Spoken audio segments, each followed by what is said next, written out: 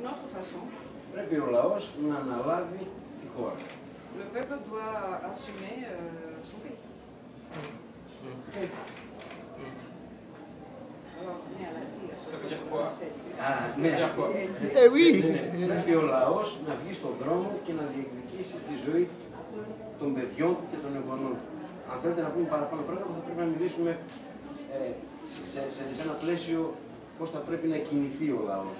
Voilà, donc, donc, le premier mouvement, c'est que le peuple il doit avoir un mouvement euh, massif qui doit descendre dans la rue et revendiquer une autre vie pour ses enfants, c'est surtout ses enfants et les enfants de- de- des enfants. Alors, si vous voulez savoir plus enfin, son avis sur comment les choses peuvent se passer autrement, là, ça va prendre du temps.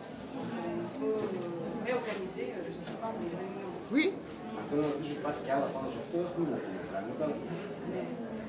Alors, il, écoute vos questions par rapport à tout ça. Euh, moi, je voulais dire qu'en en fait, il faudrait dire...